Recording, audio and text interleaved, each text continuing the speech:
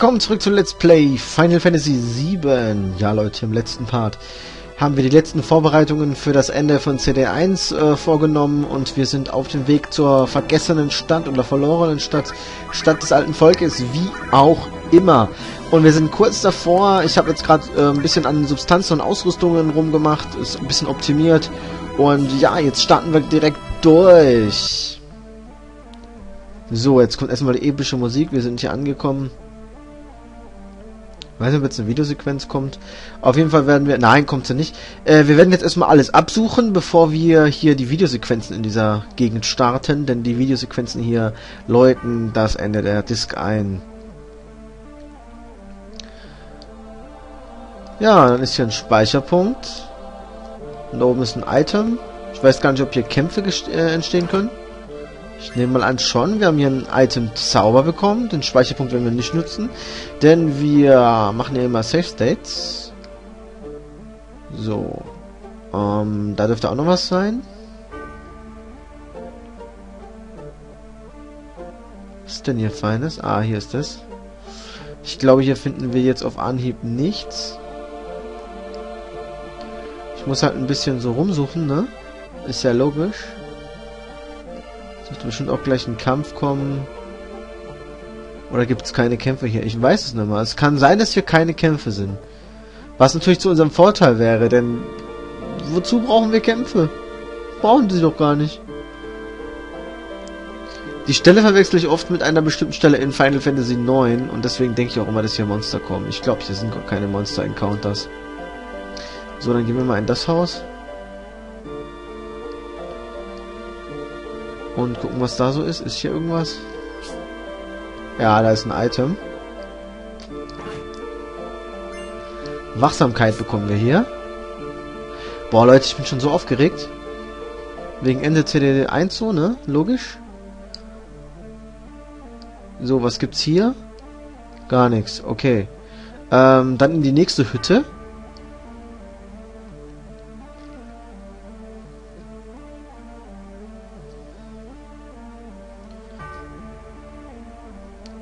Ist da so ein nettes Item. Das ist ein Elixier. Dann gehen wir mal hier nach oben, gucken uns da mal um. So, dann will die Gruppe hier sich ausruhen, glaube ich. Hey, da ist ein Bett! Ich bin total am Ende. Warum ruhen wir uns nicht ein bisschen aus? Nein, wir wollen uns noch nicht ausruhen. Erstmal holen wir uns hier das neue Feindeskönnen. Was heißt das neue Feindeskönnen? Die nächste Feindeskönnen-Substanz. Ähm, die kriegt der Barretto-san. Und zwar gegen eine MP+. Da müssen wir uns noch einige Skills reinholen in die Feindeskönnen-Substanz. Ist ja logisch. Da war sie. Da sind wir noch nichts drinne und da müssen wir dann alles holen, was wir in den anderen haben. Dann haben wir hier drei Charaktere mit Feindeskönnen und dann sind wir eigentlich schon ganz gut äh, beisammen. Wir brauchen aber Feindeskönnen eigentlich so gut wie gar nicht mehr. Also vorerst nicht mehr. Dann werden wir uns noch ein bisschen hier umgucken, bevor wir hier weitermachen. Ich möchte wissen, was da hinten noch ist. Was ist denn da Feines? Okay, da geht's weiter. Da kommen wir von der Seite rein. Ich will wissen, was da ist. Okay, okay, okay. Ist hier irgendwas? Da ist nichts soweit. Okay, dann würde ich sagen, können wir die Videosequenzen starten. Und ab dem nächsten Part, wenn wir im nächsten Part schon in CD2 sind, ab dem nächsten Part gibt's dann einen neuen Rahmen, Leute. Oh, ich bin schon so gespannt. Ich werde jetzt endlich mal einen Rahmen machen, der mir optisch auch zusagt, weil ich muss ganz ehrlich sagen, dass mir der Rahmen jetzt überhaupt nicht zusagt. Es gibt Schöneres. Viel Schöneres. So, dann ruhen wir uns aus. Boah, Leute, ich liebe CD2. Und im CD1 haben wir ja hauptsächlich ähm, gelevelt und so und Substanzen aufgelevelt. Im Part 2 werden wir uns äh, den Statuswerten widmen und die mal maximieren von unseren drei Charakteren. Das werden wir nur bei drei machen, nicht bei allen Charakteren. Ich fühle es. Cloud, was los? Was los, Digga? Cloud! Aris ist hier. Und Sephiroth auch. Wie, was? Sephiroth? Hey, woher weißt du das? Es ist keine Ausrede. Ich fühle es in meiner Seele. Dann sollten wir besser ganz schnell mal unseren Hintern bewegen. So, okay, okay, wir müssen uns beeilen und Eris suchen. Ich glaube zu meinen, dass wir doch hier irgendwo noch Kometsubstanz bekommen können, oder? Komet ist auch so eine geile Substanz, eine meiner Lieblingssubstanzen. Meine Güte, was ist denn da hinten? Ach komm, lass mich doch durch, da ist so eine Tür oder was, ey. Du Schiff, du. Okay. Ich meine zu glauben, dass ich weiß, wo es lang geht.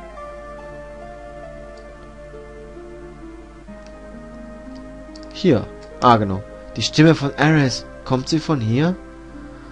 Ja, und wir geraten langsam zu Ende von Disk 1. Und ich hoffe, dass ich in diesem Part nur Disk 1 Stuff bringen kann, denn ich habe ja gesagt, ab Disk 2 gibt es einen neuen Rahmen. Und ja, ich weiß, im letzten Part habe ich ein bisschen messed up mit dem Rahmen. Ich wollte eigentlich einen anderen Rahmen zeigen oder irgendwie sowas. Also ich wollte irgendwie Aris noch im Rahmen anzeigen. Ich habe mich dann letztendlich noch entschieden, von Anfang an des Parts Sid reinzupacken. Warum ich das gemacht habe? Nicht, um, weil ich zu faul bin, sondern einfach, weil ich gestern oder wann auch immer ich, ich glaube vorgestern, vorvorgestern habe ich es aufgenommen, äh, einfach keinen Nerv dazu hatte. Ich hatte keinen Nerv, das zu machen. Weil ich hatte wenig Zeit und ja, wie soll man sagen, ist da oben noch irgendwas, bevor wir hier weitergehen? So? Ah, genau, Komet. Ja, Komet. Das geht, Komet, Komet, das geht! Dann geht's ja nach unten. Epicness.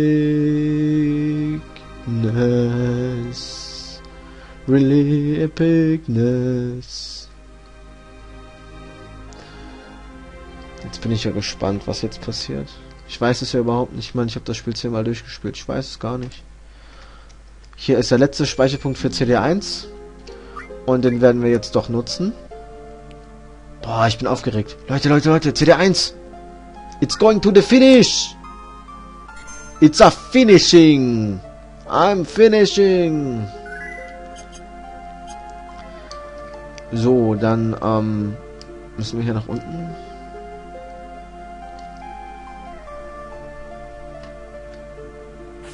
Cloud springt darüber.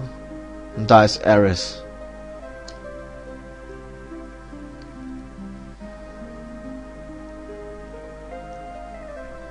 Da ist Aris. Aris, ich komme!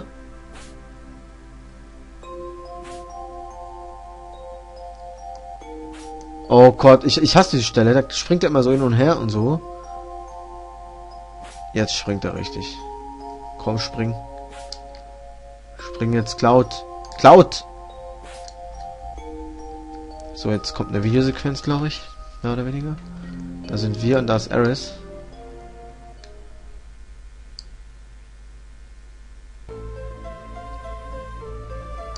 Was geht jetzt ab? Aris, was ist los?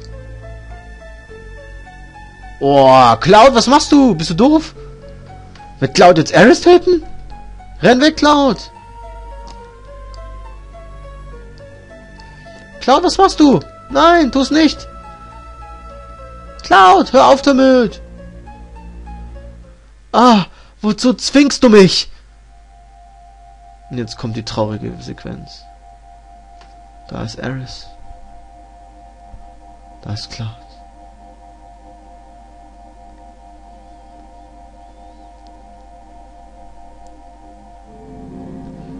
Da kommt Sephiroth von oben.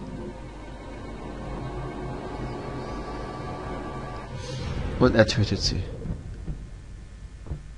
Damals haben wir uns auch keine Gedanken gemacht, warum da kein Blut kommt, Leute. Auf jeden Fall tötet er sie.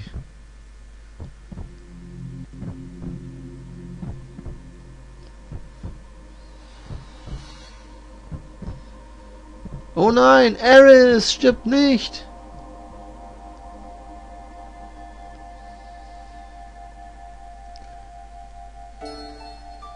und da fliegt die Substanz.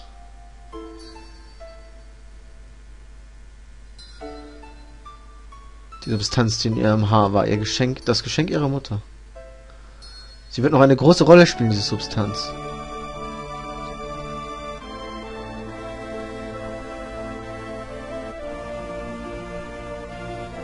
Und Eris stirbt. Nein, Eris. Eris. Das kann ich nicht glauben. Keine Angst, das Mädchen wird bald Teil der Energie des Planeten werden. Wir müssen nirgendwo mehr anhalten. Jetzt geht es nur noch weiter nach Norden. Das verheißene Land erwartet uns hinter diesen Schneefeldern. Ich werde zu einem neuen Wesen, in dem ich eins mit dem Planeten werde, genauso wie das Mädchen. Halt die Klappe! Der Kreislauf der Natur und dein idiotischer Plan sind unwichtig! Eris ist tot. Eris wird nie wieder sprechen, nie wieder lachen, weinen oder wütend werden. Und was ist mit uns? Was sollen wir tun? Und was ist mit meinen Schmerzen? Meine Finger kribbeln. Mein Mund ist trocken. Meine Augen brennen.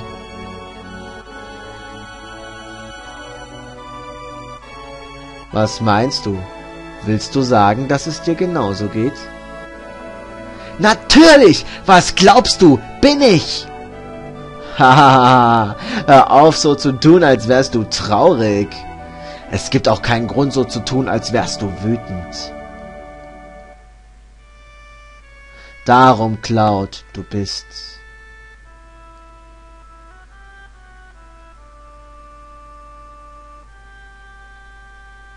Und jetzt kommt erstmal ein Kampf. Das ist der letzte Kampf auf CD1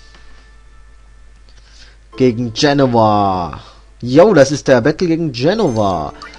Und wie schnell würden wir das jetzt hier machen? Hm, ich mache mal hier große Wache.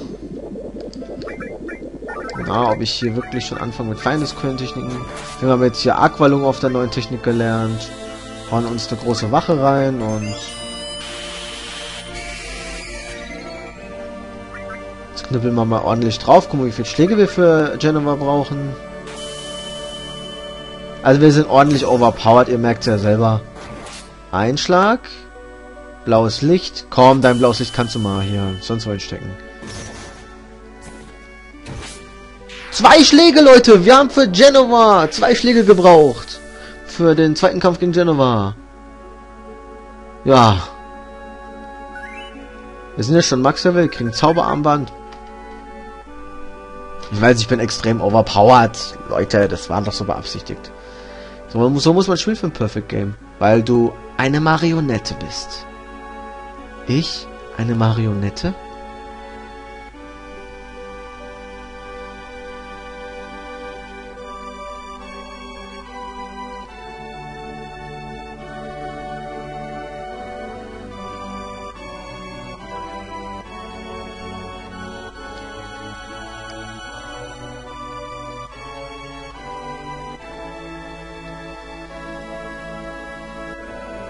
Und jetzt ist sie tot. Ich finde das so traurig. Unglaublich ist das.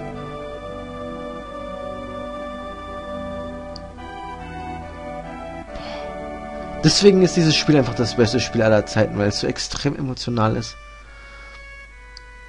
Jetzt ist Cloud mit Aris allein. Und dann nimmt sie hoch.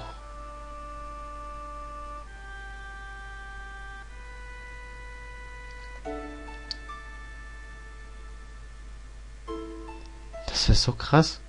Sowas in ein Spiel reinzumachen. Unglaubliche Idee.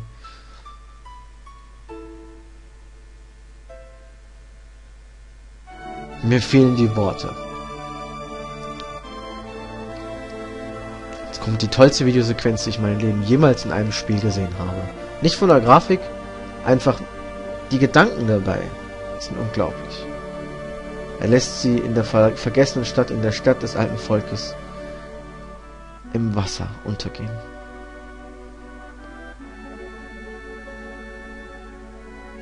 Und da schwimmt sie dahin. Das ist so traurig.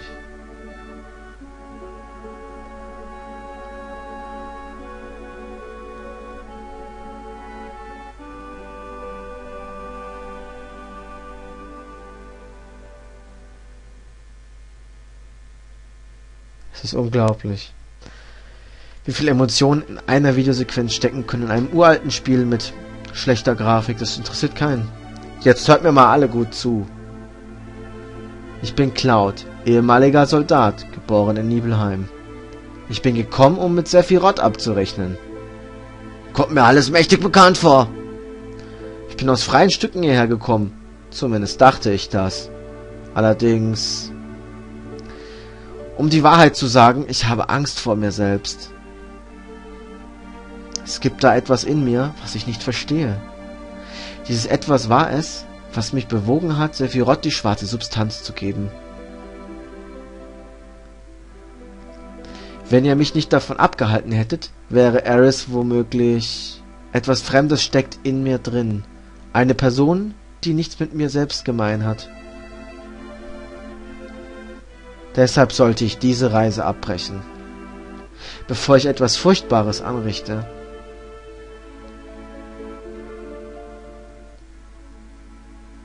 Aber ich gehe. Er hat vor fünf Jahren mein Heimatdorf zerstört. Er hat Eris getötet. Und jetzt versucht er den Planeten zu zerstören. Ich werde ihm niemals vergeben können. Sephiroth. Ich... ich muss weiter. Ich möchte euch um einen Gefallen bitten. Wollt ihr alle mit mir kommen? Um mich davor zu bewahren, eine Katastrophe anzurichten. Weiß nicht, Mann. Ich weiß nicht, auf welche Weise Ares den Planeten vor dem Meteor retten wollte. Und jetzt glaube ich, dass wir es niemals erfahren werden. Aber wir haben noch eine Chance. Wir müssen uns die schwarze Substanz zurückholen, bevor Sephiroth sie einsetzen kann. Also los.